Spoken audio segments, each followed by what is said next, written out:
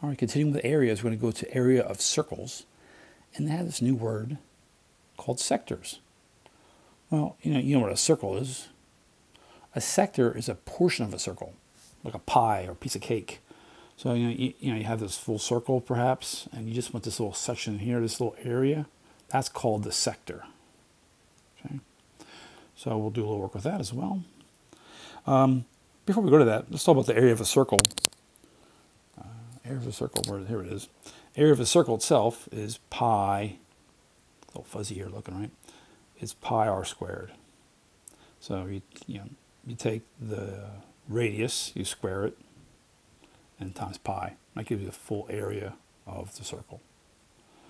So let's go try something with the area and then uh, some sectors as well. Um, says find the area of the sector formed by UTV. I want you to find the area of this little orange sector in here. Okay. Well, in order to do that, the first thing you must do is you must find the entire area of the whole circle. And then you'll find just that portion that's covered up by the 70 degrees. So let me show you how we do this. First of all, we got to find the area of the circle. Again, the formula for that is going to be area equals pi r squared. Well, the r in this particular case is 8.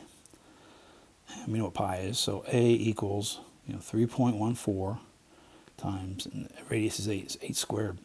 So make sure you always do that square first. You must make sure you do square before you multiply by the pi. So uh, 8 times 8 is 64. So if A equals 3.14 times 64, and therefore the area is going to be equal to,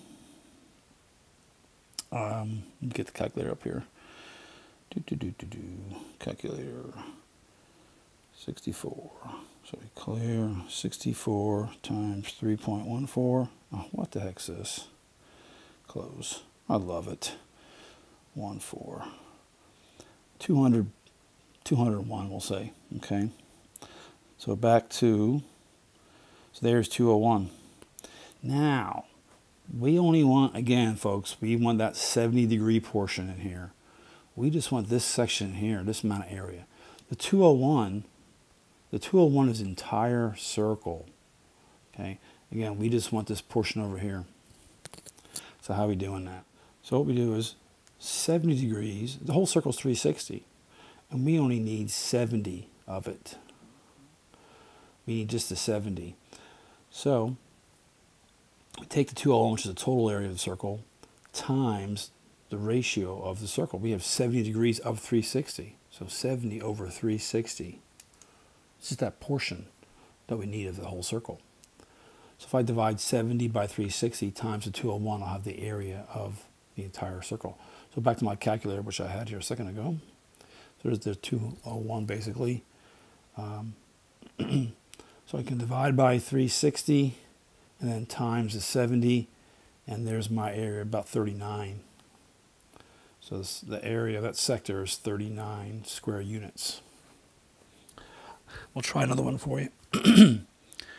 um, we'll try to find again this example, find the area of the sector of this portion in here, 120 degrees. Again, I have to find the entire area of the entire circle first, the entire circle, before I get that portion that's only 120 degrees. So I go find the area. So A of the, of the circle, the full circle, is uh, pi r squared. So A equals 3.14 times 14 squared. Uh, 14 squared is 196, so A equals 3.14 times 196. So back to my calculator. Uh, 14 times 14, that's the 14 squared, 196, times 3.14, 615. Again, I'm rounding these off just to keep numbers simple for everybody here. The area equals 615. That's the entire circle. I just need 120 degrees of the 360. So I multiply that 615 times 120 divided by 360. I'm looking for this ratio of the total circles area. Now that's roughly one third, right? 120 divided by 36. So if I just divide uh, the 615 by one third by three, I'll have my area. So back to this, uh, divide by three, uh, 205. So the area here then is 205.